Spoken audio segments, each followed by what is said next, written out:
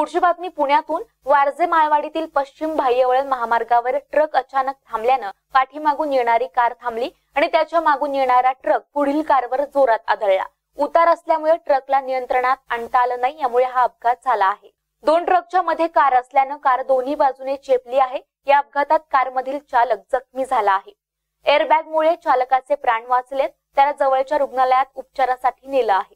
या अपघातामुळे त्या रस्त्यावर वाहतूक कोंडी झाली होती.